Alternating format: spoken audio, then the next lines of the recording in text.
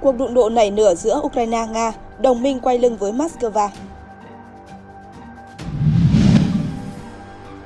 Ukraine tung áp chủ bài khắc chế thiết gia vận của Nga. Ukraine sơ tán cư dân gần Kupian, Mỹ cảnh báo nguy cơ tấn công hạt nhân của Nga. Giáo hoàng Francis khuyên Ukraine dương cờ trắng để đàm phán với Nga. Ukraine để lộ hệ thống phòng ngự yếu kém, ông Zelensky thoát hiểm 10 lần ám sát.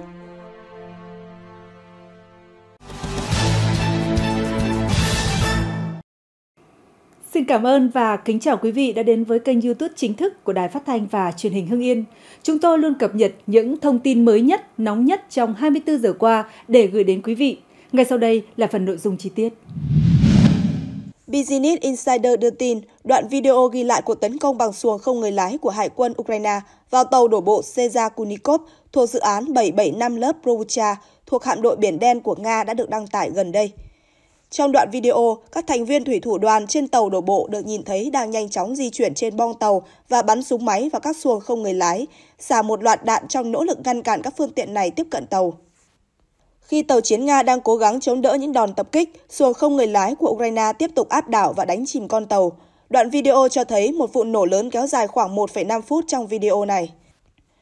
Ukraine trước đó đã công bố đoạn video về sự việc xảy ra vào ngày 14 tháng 2, trong đó có video quay cảnh xuồng không người lái của họ tiếp cận con tàu trước khi nhắm mục tiêu và phá hủy phương tiện đó. Theo nhận định của Business Insider, thành công của Ukraine với xuồng không người lái đã trở thành một huyền thoại. Không có tàu chiến hải quân, Kiev phải ứng biến, ưu tiên phát triển cái mà họ gọi là hạm đội xuồng không người lái hải quân đầu tiên trên thế giới. Ở diễn biến khác, theo tờ Politico, Ngoại trưởng Armenia Ararat Mirzoyan gần đây cho biết, Nga đã nhận được thông báo chính thức rằng lực lượng biên phòng của Nga không còn được chào đón tại sân bay Zvanot ở thủ đô Yerevan, Armenia. Ông Mirzoyan nói, Armenia đã thông báo cho phía Nga rằng chúng tôi không cần lực lượng biên phòng của biên phòng Nga tại sân bay nữa, tất nhiên là cảm ơn phía Nga. Bức thư chính thức đã được gửi tới Moscow yêu cầu Nga rút lực lượng khỏi sân bay Zvanot.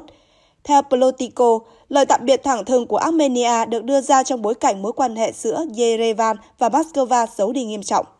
Kể từ thời điểm ngày 22 tháng 2 năm 2024, sau khi Thủ tướng Armenia Nikol Pashinyan thông qua cuộc phỏng vấn với kênh truyền hình France 24 của Pháp, tuyên bố đình chỉ hiệp ước an ninh tập thể với Nga, một chuỗi động thái chống Moscow đã được Yerevan tung ra, đẩy quan hệ giữa hai nước lên tới mức gần như không thể cứu vãn.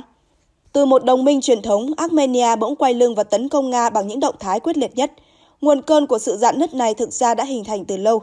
Năm 2022, khi Nga phát động kế hoạch quân sự ở Ukraine, cũng trong năm này, xung đột Armenia-Azerbaijan tái diễn. Yerevan cầu viện tổ chức hiệp ước tập thể, viết tắt là CSTO do Nga đứng đầu. Tuy nhiên, theo tờ Moscow Times, Yerevan sớm vỡ mộng vì Nga đã không cứu viện Armenia. Cũng kể từ thời điểm này, Yerevan bắt đầu định hướng lại chính sách đối ngoại của mình theo hướng tìm kiếm một đồng minh hùng mạnh mới, đó là Mỹ. Quân đội Nga gần đây thường xuyên sử dụng chiến thuật thiết xa vận để tấn công phòng tuyến Ukraine ở miền Đông. Trong chiến thuật này, thiết giáp Nga chở theo lượng tối đa binh sĩ cả bên trong lẫn trên nóc và nhanh chóng cơ động áp sát phòng tuyến đối phương để đổ quân. Nga áp dụng phổ biến chiến thuật này trong bối cảnh lực lượng Ukraine hiện không có đủ đạn pháo để có thể nhắm bắn thiết giáp của Nga từ khoảng cách xa. Thiết xa vận giúp lực lượng Nga có thể tràn ngập chiến hào Ukraine trong thời gian ngắn nhất, phát huy tối đa ưu thế về nhân lực của họ. Tuy nhiên, lực lượng Nga dường như đang gặp khó khăn trong việc thực hiện chiến thuật này tại làng Berdichi, cách thành phố chiến lược Adivka ở miền đông Ukraine khoảng 8 km về phía tây bắc. Lữ đoàn cơ giới độc lập số 47 gần đây đăng video quay từ thiết bị bay không người lái drone trinh sát cho thấy một thiết giáp trợ quân của Nga di chuyển về hướng phòng tuyến của Ukraine tại làng Betichi. Khi binh sĩ Nga vừa rời khỏi xe, thiết giáp M2 Bradley Ukraine lập tức khai hỏa tới tấp, bắn chính xác vào đội hình Nga chưa tìm được nơi ẩn nấp. Chuyên gia quân sự David Ase của Ford cho biết thiết giáp M2 Bradley mang lại cho lữ đoàn 47 năng lực cận chiến xuất sắc, là loại khí tài mà Ukraine cần để đối phó chiến thuật thiết xa vận của Nga. Mỹ đã chuyển giao cho Ukraine khoảng 200 chiếc M2 Bradley từ đầu xung đột, trong đó 34 chiếc đã bị phá hủy và vài chục chiếc khác bị hư hại, song có thể sửa chữa và đưa trở lại chiến trường. Trong bối cảnh Ukraine đang thiếu hụt về vũ khí đạn dược và thất bại trong đợt phản công gần đây, Tư lệnh lục quân Ukraine, tướng Oleksandr Pavliuk cho biết, chúng tôi sẽ sớm ổn định tình hình, chúng tôi sẽ làm mọi cách để giúp binh sĩ sẵn sàng tác chiến tích cực hơn và nắm thế chủ động. Theo tướng Oleksandr Pavlyuk, mục tiêu trước mắt của quân đội Ukraine là rút một số đơn vị đã mất năng lực chiến đấu khỏi tiền tuyến, tái trang bị và bổ sung nhân lực trước khi chuẩn bị cho kế hoạch phản công trong năm nay. Tuyên bố của ông Oleksandr Pavlyuk được đưa ra trong bối cảnh quân đội Ukraine đang rơi vào thế bị động và liên tục lùi bước trước đà tiến của Nga sau khi đẩy mất thành trì Adivka. Gần đây, binh sĩ Ukraine phải rút khỏi nhiều ngôi làng xung quanh Adipka trước sức ép từ quân đội Nga. Ukraine đã cố gắng tiến hành cuộc tấn công quy mô lớn vào đầu mùa hè năm ngoái nhưng không đạt tiến bộ đáng kể dù được tăng cường lượng lớn khí tài quân sự của phương Tây. Bộ trưởng Quốc phòng Nga Sergei Shoigu cho biết Kiev hứng chịu tổn thất to lớn trong chiến dịch này. Tháng trước, Tổng thống Ukraine Volodymyr Zelensky thừa nhận một số nước phương Tây tỏ ra thiếu kiên nhẫn với Kiev và nhận thấy sự thiếu tiến bộ trên chiến trường của Ukraine. Theo ông, ưu tiên hàng đầu của Ukraine là tránh thương vong nặng nề cho quân đội. Ông nhấn mạnh nếu mất binh lính, Kiev sẽ mất tất cả, ngay cả khi phương Tây cung cấp những vũ khí tối tân. Khi Nga ngày càng đẩy lùi phòng tuyến của Ukraine ở miền Đông, nhiều binh sĩ và cư dân sống gần vùng giao tranh đang phải lo lắng về những gì sắp tới. Nga đã kiểm soát nhiều ngôi làng xung quanh Abdiivka, buộc Ukraine phải kéo lùi phòng tuyến. Bất chấp những nỗ lực của lực lượng Ukraine, tiếng đạn pháo ngày càng đến gần những ngôi làng ở miền đông. Tại ngôi làng Ocheretai gần Abdiivka, một người đàn ông 32 tuổi đã chuẩn bị sẵn mọi thứ để sẵn sàng sơ tán nếu lực lượng Nga áp sát. Anh nói, nếu tình hình trở nên nghiêm trọng, những người lính sẽ thông báo với chúng tôi, song chúng tôi không mong điều đó xảy ra. Một người khác cũng phàn nàn về việc mái nhà liên tục bị thủng do pháo kích và mong muốn các cuộc pháo kích chấm dứt. Người này đã chỉ về một chiến hào ở phía xa đường chân trời với những tiếng pháo kích không ngừng vang lên và cho biết nơi đó là Ocheretai, từng là ngôi làng thịnh vượng trước xung đột. Tại Jelani, gần đó, một số cư dân lớn tuổi cuối cùng phải quyết định sơ tán với sự hỗ trợ từ một đơn vị cảnh sát đặc biệt của Ukraine. Một số cư dân ở Chasivya, gần Bakhmut, thậm chí không loại trừ khả năng Nga đạt thêm những bước tiến và kiểm soát khu vực. Đứng bên ngoài một điểm phân phát hàng viện trợ, một người đàn ông cho biết ông mong muốn hòa bình để được gặp cháu gái sống ở Moscow và em gái ở Kaliningrad. Ông nói, một nửa nước Nga là họ hàng của tôi. Một phụ nữ phàn nàn việc lính Ukraine đồn trú gần dân thường, thu hút hỏa lực Nga vào các khu vực và tình trạng thiếu thốn những dịch vụ cơ bản nhất. Không nước, không khí đốt, không điện, không còn gì cả. Khi chúng tôi đi lấy nước, binh sĩ cũng đi và họ đã lấy hết. Tuần vừa qua, giao tranh tiếp tục xảy ra tại nhiều địa điểm dọc theo chiến tuyến, ác liệt nhất là ở phía Tây và Tây Bắc Donetsk, thuộc vùng Donbass phía đông Ukraine. Theo ước tính của Bộ Quốc phòng Nga, lực lượng Ukraine đã mất gần 7.300 binh sĩ cũng như các loại khí tài quân sự trong thời gian này.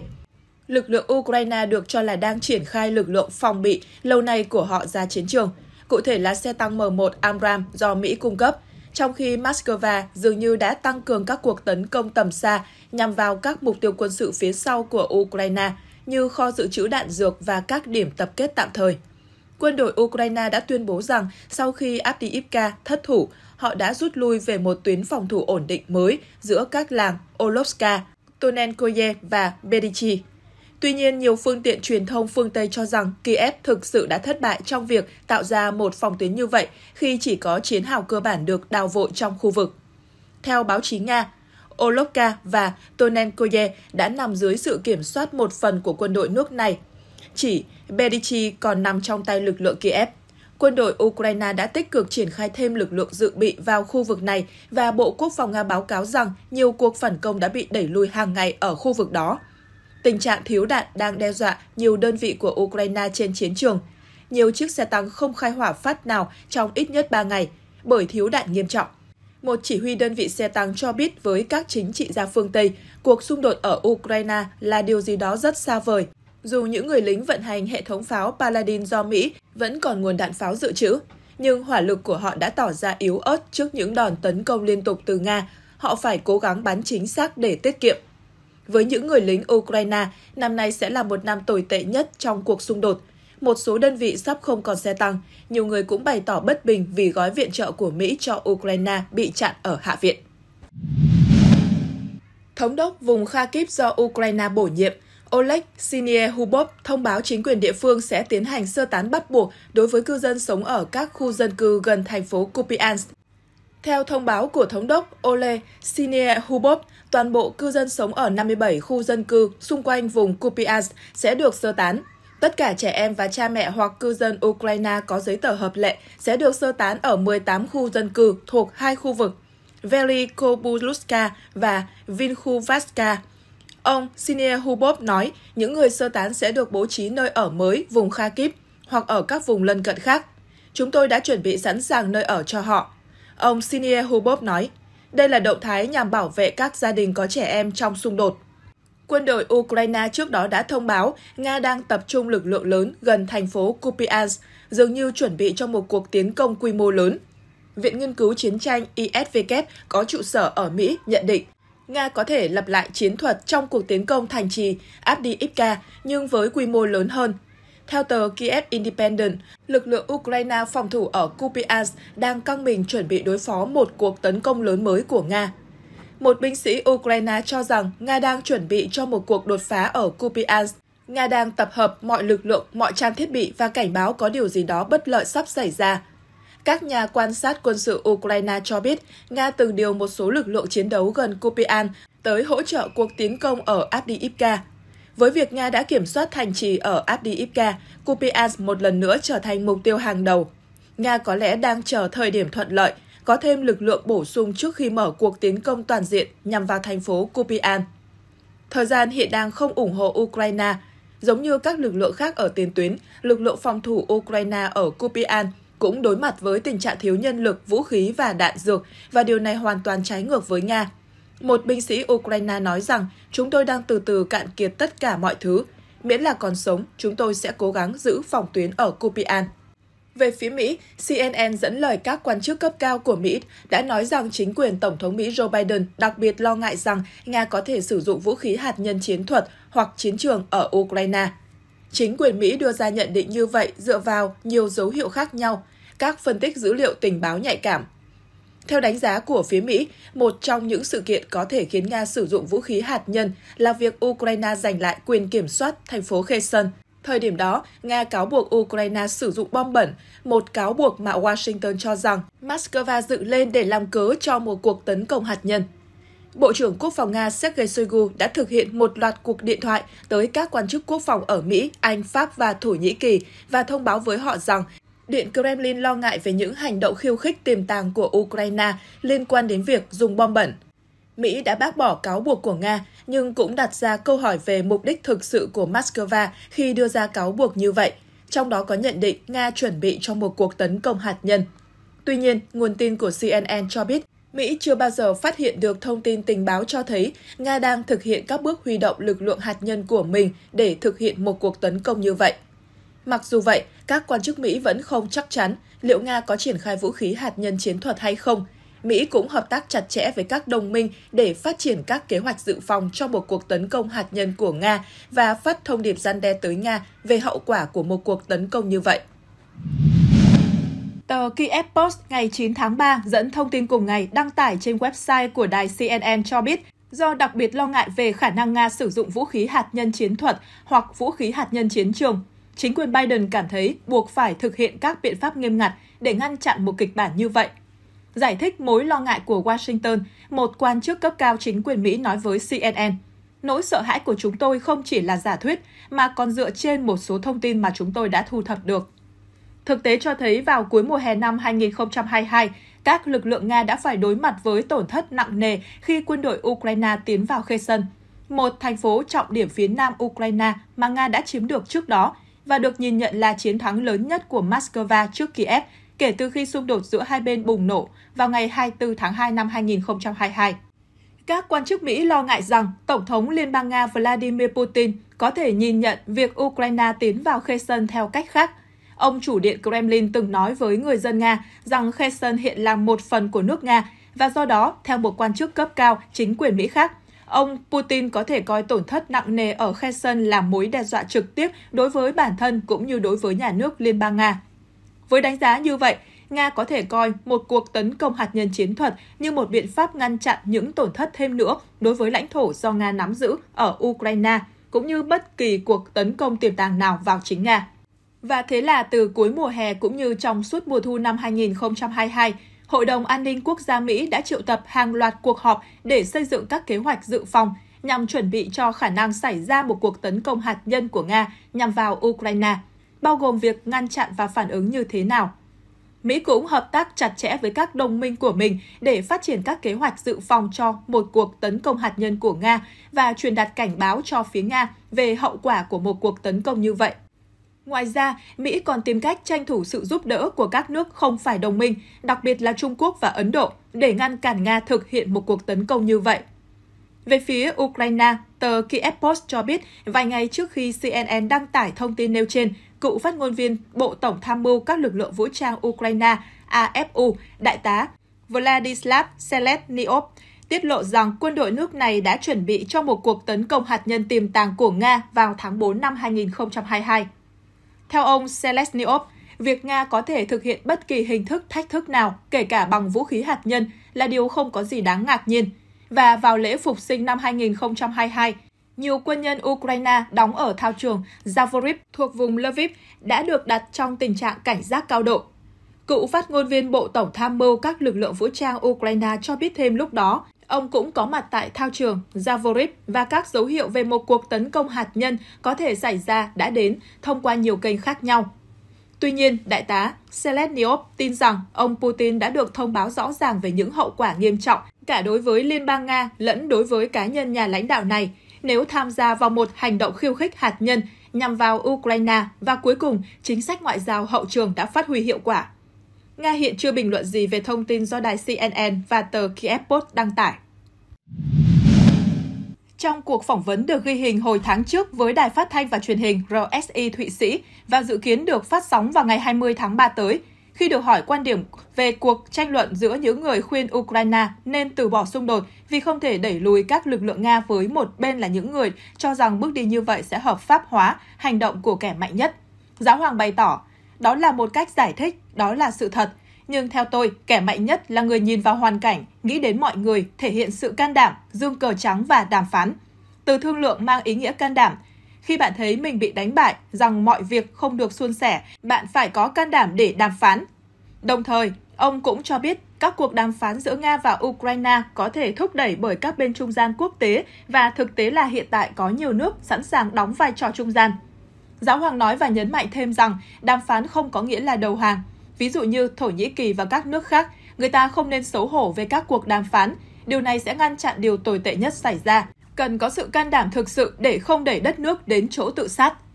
Khi được hỏi liệu ông có sẵn sàng đóng vai trò hòa giải không, giáo hoàng cho biết, tôi luôn sẵn sàng. Đây có lẽ là lần đầu tiên giáo hoàng Francis sử dụng cụm từ cờ trắng hay bị đánh bại khi bàn về xung đột Nga-Ukraine, mặc dù trước đó ông từng kêu gọi các bên đàm phán. Trong cuộc họp báo ngày 8 tháng 3 với Tổng thống Ukraine Volodymyr Zelensky thăm Istanbul, Tổng thống Thổ Nhĩ Kỳ Recep Tayyip Erdogan tuyên bố nước này sẵn sàng tổ chức các cuộc đàm phán hòa bình với sự tham gia của Ukraine và Liên bang Nga. Tổng thống Erdogan nói, chúng tôi sẵn sàng tổ chức một hội nghị thượng đỉnh hòa bình với sự tham gia của Nga.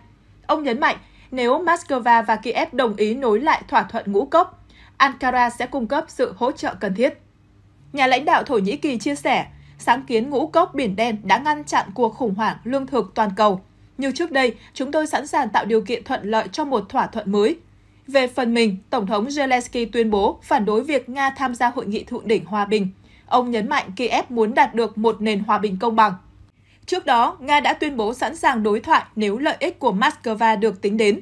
Bộ Ngoại giao Liên bang Nga gọi các điều kiện của Ukraine trong công thức hòa bình, kể cả việc rút quân là không thể chấp nhận được.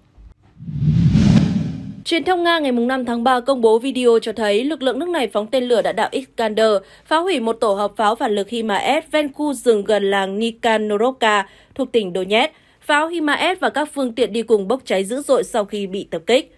Roman Kostenko, thư ký Ủy ban An ninh, Quốc phòng và Tình báo Quốc gia của Quốc hội Ukraine ngày 8 tháng 3 cho hay, phải mất rất nhiều thời gian để căn chỉnh mục tiêu cho một tên lửa Iskander như vậy – Ông cho biết, dĩ nhiên pháo HIMARS luôn hoạt động ở hậu phương và chúng ta thấy rằng tình báo Nga đang nỗ lực săn lùng tổ hợp này.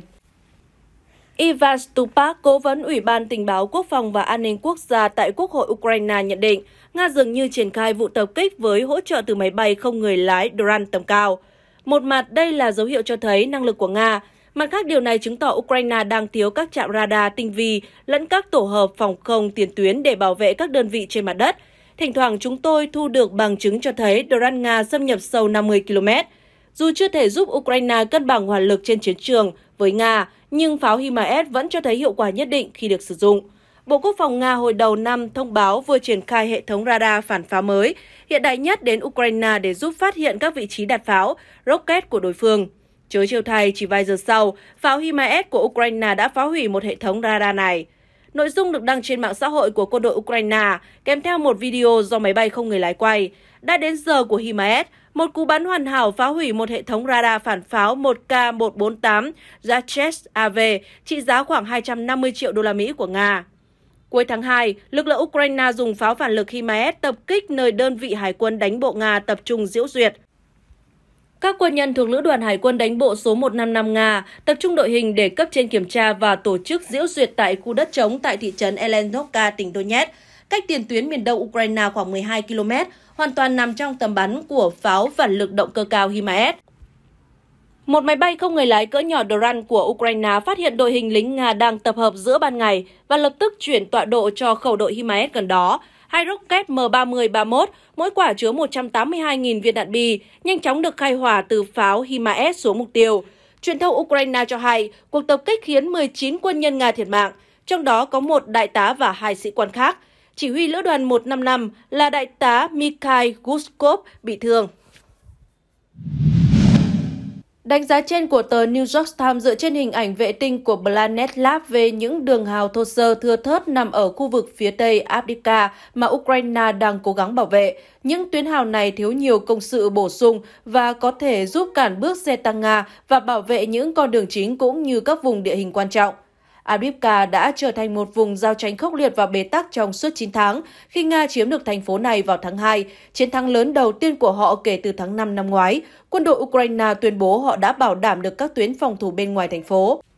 Nhưng sau đó, các lực lượng Nga tiếp tục chiếm được ba ngôi làng ở phía tây Adivka chỉ trong vòng một tuần và họ đang tranh giành ít nhất một ngôi làng khác. Các quan chức Mỹ nói riêng rằng họ lo ngại Ukraine đã không củng cố các tuyến phòng thủ sớm hoặc đủ tốt và giờ đây nước này có thể phải đối mặt với hậu quả khi các đơn vị Nga tiến chậm nhưng đều bước ra xa hơn Adipka. Tình báo quân sự Anh vừa qua cho biết lực lượng Nga đã tiến thêm khoảng 6 km từ trung tâm Adipka, một bước tiến nhỏ nhưng nhanh bất thường so với các hoạt động tấn công trước đó. Các chỉ huy Ukraine đã có nhiều thời gian để chuẩn bị phòng thủ bên ngoài Adipka. Khu vực này bị tấn công kể từ năm 2014 và Ukraine đã kiểm soát khu vực kể từ khi xung đột toàn diện bùng phát. Nhưng hệ thống phòng thủ của Ukraine bên ngoài Adivka cho thấy những công sự thô sơ bằng đất thường có rãnh nối để quân bộ binh tiếp cận các vị trí bắn gần kẻ thù nhất, ngoài ra rất ít. Có nhiều lý do có thể giải thích cho việc Ukraine thiếu khả năng phòng thủ. Các quan chức Mỹ và chuyên gia quân sự cho biết, giới chức Ukraine có thể đã quá tập trung vào các hoạt động tấn công vào năm ngoái, thay vì dành các nguồn lực cần thiết cho việc xây dựng nhiều chiến hào và bẫy xe tăng, như các kỹ sư Nga đã xây dựng từ cuối năm 2022 ở miền nam nước này. Serhiy Horatsky, một đại tá quân đội Ukraine đã nghỉ hưu cho biết, ai quan tâm và ai coi đó là một lựa chọn, bởi vì đó là một lựa chọn rất tốn kém, xây dựng các tuyến phòng thủ không có ai cả. Lưu ý rằng Ukraine có rất ít nguồn lực dự phòng vào thời điểm đó. Các quan chức Mỹ cho biết cũng có thể có yếu tố tâm lý nếu quân đội Ukraine giải mìn dày đặc ở một số khu vực nhất định để cản trở bước tiến của Nga, thì đó sẽ là sự thừa nhận ngầm rằng họ khó có thể thực hiện các hoạt động tấn công ở cùng khu vực đó trong tương lai. Trong diễn biến khác, ông Zelensky trả lời khi được hỏi về các nỗ lực để ám sát ông. Họ nói đã có hơn 10 vụ ám sát nhắm vào tôi, nhưng đây là những con số do các quan chức cơ quan, đặc biệt là cơ quan tình báo đưa ra. Tôi phải thừa nhận, tôi thực sự không đếm chúng. Đối với tôi, ở Ukraine, tất cả người dân của chúng tôi, quân nhân ở mặt trận đang mạo hiểm mạng sống của mình mỗi ngày. Dân thường cũng gặp nguy hiểm hàng ngày do các cuộc tấn công giống như những cuộc tấn công vào Odessa Yên Bình. Ông Zelensky cũng nhấn mạnh rằng mạng sống của ông cũng gặp nguy hiểm như bất kỳ công dân Ukraine nào khác. Nhà lãnh đạo lưu ý rằng bản thân ông cũng sống trong điều kiện giống như những người Ukraine khác. Vừa qua, Nga bị cáo buộc tiến hành một cuộc tấn công tên lửa vào Odessa, khiến 5 người thiệt mạng. Vào thời điểm xảy ra vụ tấn công, Tổng thống Zelensky cùng với Thủ tướng Hy Lạp Kyriakos Mitsotakis đang có chuyến thăm chính thức tới thành phố. Được biết, một tên lửa của Nga đã rơi cách đoàn chỉ 500 mét, lúc đó đang ở khu vực cảng.